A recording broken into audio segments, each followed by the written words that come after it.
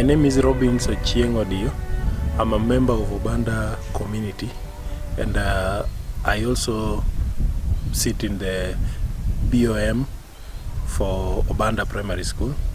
I'm also the secretary for Obanda SHG group and uh, in the past uh, few years we've been uh, playing a role in trying to give back to our community especially uh, restoring inf- infrastructure of uh, Obanda Primary School.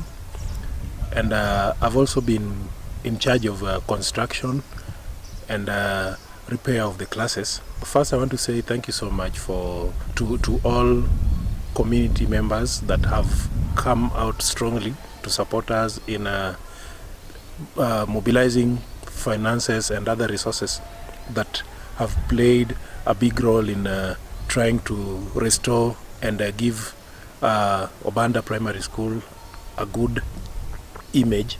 So we've done two classes that uh, the community did through a funds drive that was done by Obanda SHG, and uh, these two classes are almost uh, finished and uh, almost ready for use. Uh, one was supported by CDF, and another additional class was also done by SBNN.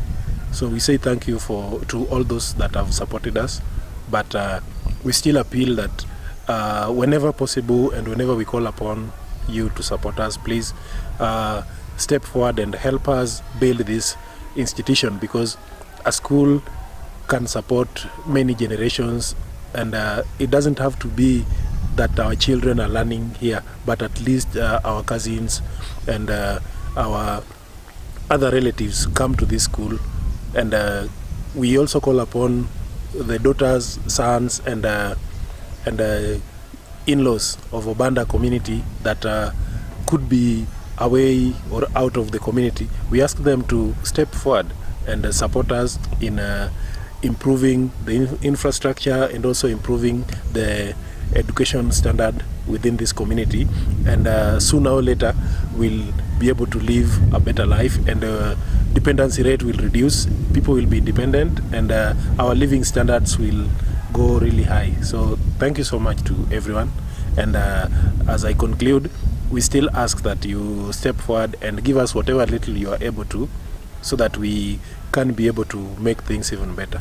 Ezra Menyangu Kech, the teacher of St. Agnes Obanda Primary School, school uh, that uh, belongs to the community because it gets a lot of support from the community. Uh, they have provided us with the, the parents uh, and the self-help group, that is the, the, the old boys and girls, have provided us with uh, more classrooms and that one eased the, the congestion also during this uh, corona COVID-19 period. We are very much grateful. But uh, still uh, a lot is uh, required. We still need more classrooms. But uh, the worst side is the toiletries. The latrines are not enough for the boys and the girls, and the ones that are there also needs, uh, uh, need to be improved. Even the ones for the teachers, they need to be improved. And we are appealing to the well-wishers and even the same group that has been, has been supporting us that uh, the world has gone digital. They built a library, but this library it needs uh, more computers other than the, the, the parts that the, the government provided to the schools. The office needs a, a, a desktop so that we can do photocopying and even uh, print exams for our, our, our children in the school. That one will reduce the, the much we are spending outside and it will even improve the privacy of the school. There are some things that we need not to take to the cyber because they are private. Otherwise, uh, we are very much grateful to the Almighty Father for the short period that we have been here with the deputy.